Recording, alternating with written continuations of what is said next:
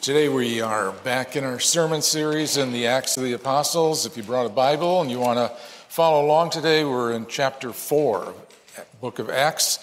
If you would like a sermon outline, our ushers would be happy to give you one. Just raise your hand, they'll hand you one.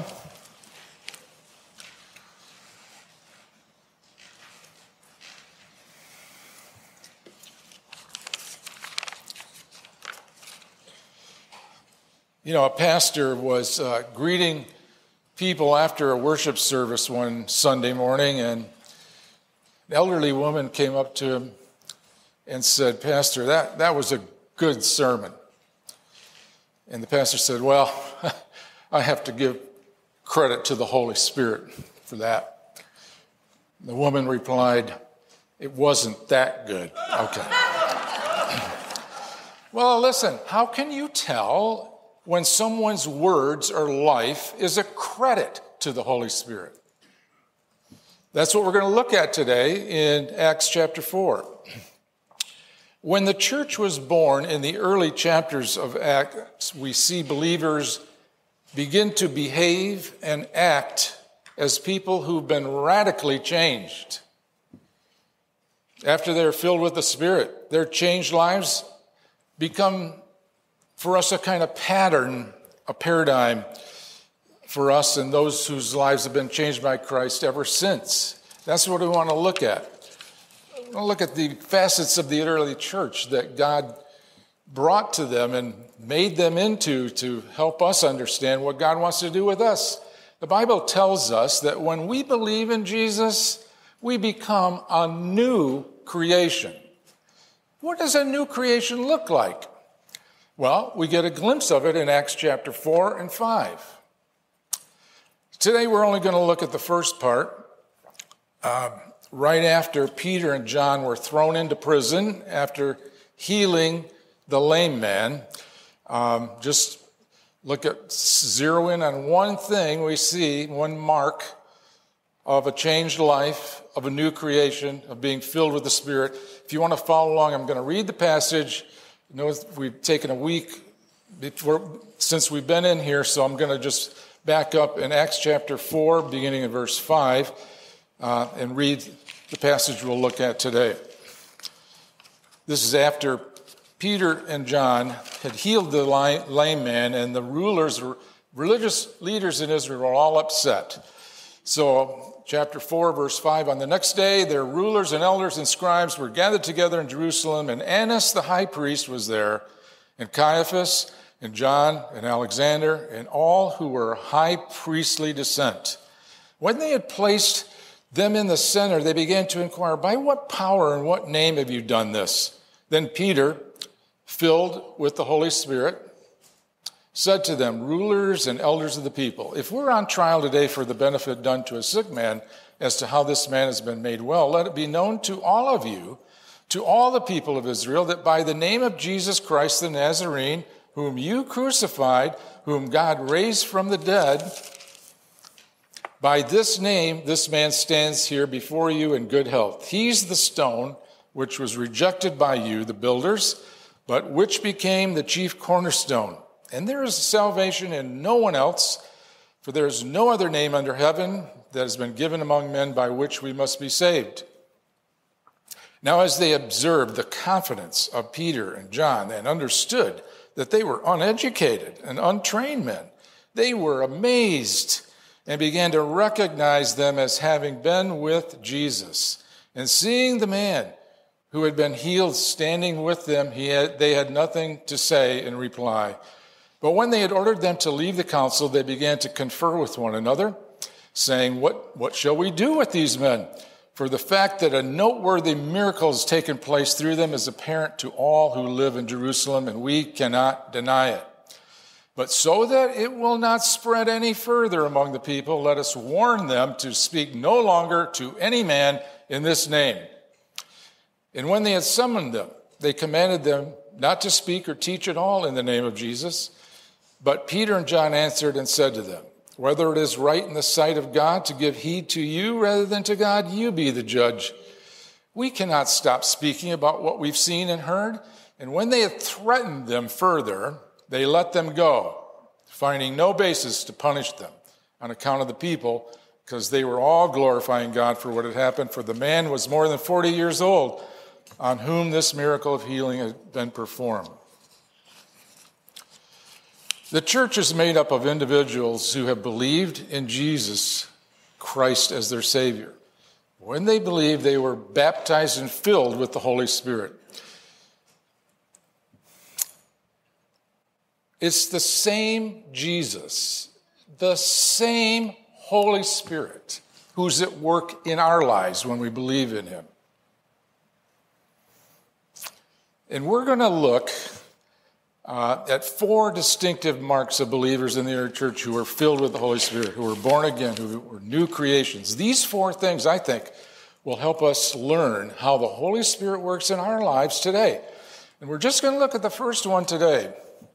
Um, I tried to do all four of them in one sermon. It's like uh, probably three o'clock's too late, so we're not going to do it. Just the first one. The first mark we see in the believers who are filled with the Holy Spirit is found in their response to trouble. Now, think about it. I, I know as I'm studying that, I'm thinking, as I track myself as a Christian, what has been my response when trouble hits my life? Is there any sense in which the Holy Spirit is working in me and through me, manifesting power of God or grace of God or whatever. Well, Acts chapter 4 begins a dramatic change in the lives of Christians, in the lives of Christians in the church.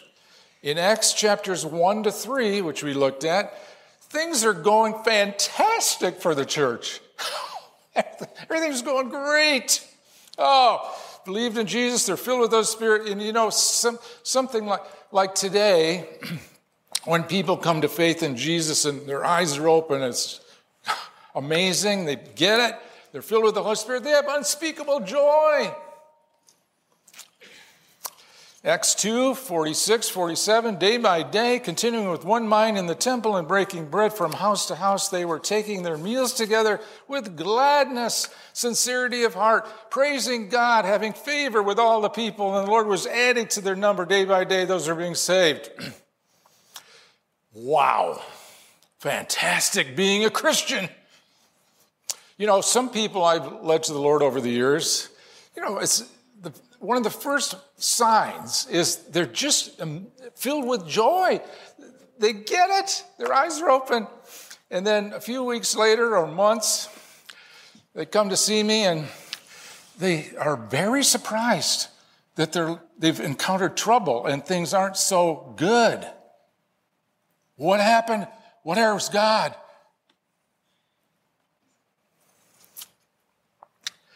You see, for those who first believe in Jesus in Acts and were filled with the Holy Spirit, it was an exciting time to be a Christian. Oh man, they had favor with all the people. 3,000 people believed, became part of the first church. Then more and more were added. As a result of Peter's second sermon in Acts 4, 5,000 men believed. These were exciting times. Everything was going fantastic, going well. Everyone was praising God. But then in Acts 4, Peter and John are arrested. Their lives are being threatened. They're told not to preach Jesus anymore. And suddenly, being a Christian was not so much fun and games anymore. This is a dramatic change. Right away, for believers in the book of Acts. It is here. Uh, for the first time, some of these believers realized they actually might die for being a Christian. Well, Jesus actually told them, and by them, us too, that, you know what? We're going to experience tribulation and troubles in this world.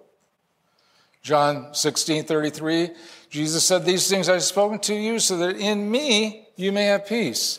In the world you'll have tribulation, but take courage, I've overcome the world. Jesus also said to those disciples, and by that way to us as well, those who follow him will encounter trouble. and persecution. John 15, 18 and 19. If the world hates you, you know that it's hated me before it hated you. If you were of the world, the world would love its own. But because you're not of the world, I chose you out of the world. Because of this, the world hates you. Christians are not exempt from suffering and trouble and tribulation and persecution. We're not exempt. Sometimes we live like we think we should be, but we're not. But because of the Holy Spirit's presence in us, that changes everything when we hit trouble. It does.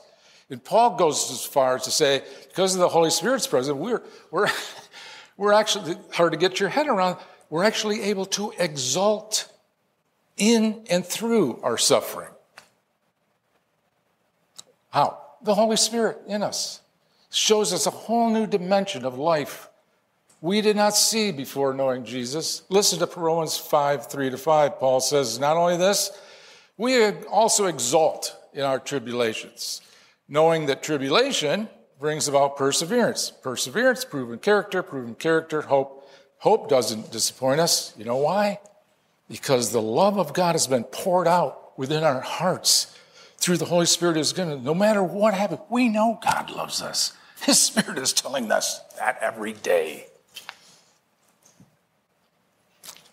It's the Holy Spirit who will give us power to respond to suffering, difficulty, trouble, amazingly, by joyfully praising God, which we'll see what these guys are doing next time.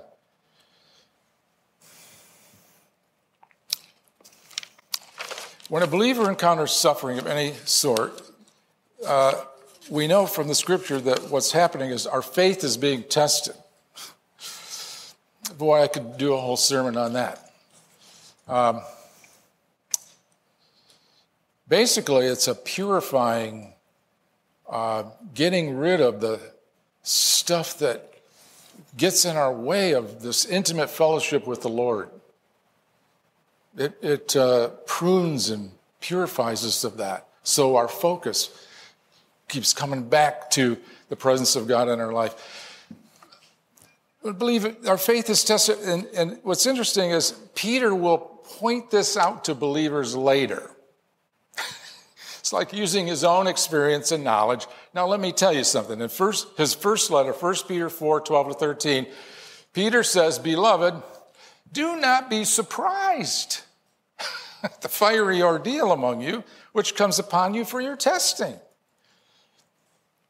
As though some strange thing were happening to you. But to the degree that you share the sufferings of Christ, keep on rejoicing.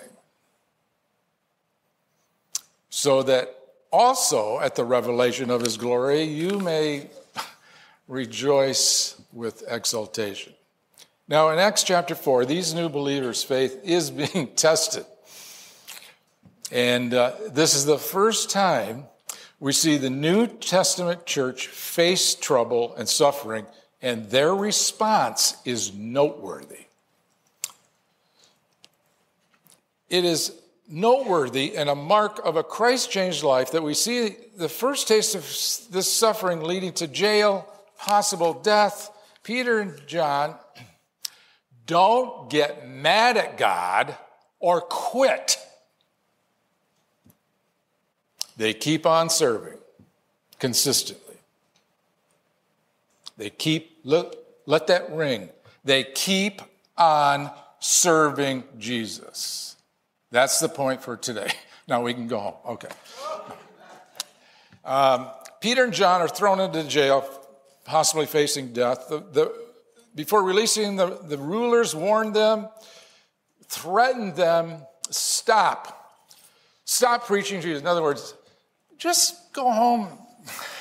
Stop serving, serving Jesus this way. We'll let you alone. Okay. Here's how they responded. We read it, Acts 4, 19 and 20. Peter and John answered, Whether it's right in the sight of God to give heed to you rather than to God, well, you be the judge. We cannot stop speaking about what we've seen and heard. Persistent, loyal service to Jesus is a mark of being filled with the Spirit, of being a new creation. We keep going. In fact, it's always been a mark of a redeemed believer. no matter what happens. You know, in the book of Job, uh, it's about a believer named Job who loses almost everything money, possessions, family, even his health. At the very beginning of the book, setting us up for this, we get in a conversation between God and Satan and how God's commending Job for being a faithful servant. He, he was a faithful servant of God like nobody else on earth. and Satan comes back with accusing Job, saying, Listen to me, God. Do you think Job is serving you for nothing? just out of the goodness of his heart. Oh, hey, listen, he's serving you because the benefits he gets from you. It isn't costing Job anything to serve you. You've surrounded his life with all kinds of great things, happiness and joy. He's just using you. You see, if you bring suffering into his life, trouble, I mean trouble into his life, you'll then see his real motives for serving you. All through 37 chapters of the book of Job, Job is suffering. He's being condemned by his friends. He's lost everything. Until God vindicates him in chapter 42, Job is absolutely confused. He doesn't get it. What, what on earth's going on? But he prays to God. He laments his situation to God. He argues with God about it. He, he's maintaining his faith and his hope in God all this time. Which means that his suffering did not drive him away from God, it drove him to God, deeper, stronger,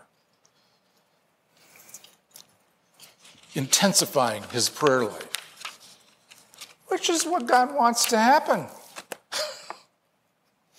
How's your prayer life?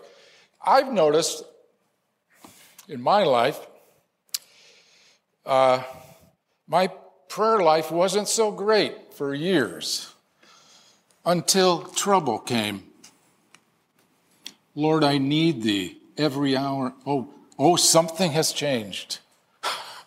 oh, oh, I'm praying now. Yeah.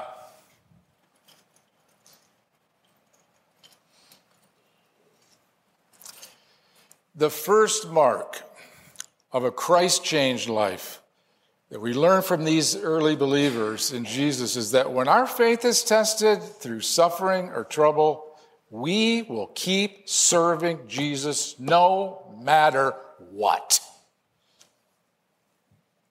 It's a mark of the Holy Spirit to do that. I mean, seriously. I know people, I know Christians uh, pastor friends of mine over the years who've quit because it got too hard.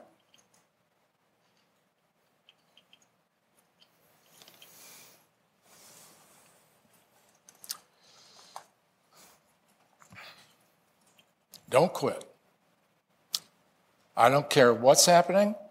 If you believe in Jesus, His Holy Spirit resides in, He can give you what you need to overcome whatever through the power of His Spirit. You know, it's a mark of a Christ changed life because it's a mark of Christ who said in Mark 10:45 for even the son of man did not come to be served but to serve and to give his life as a ransom for many. Even the cross couldn't stop him. Even torture, even death could not stop him.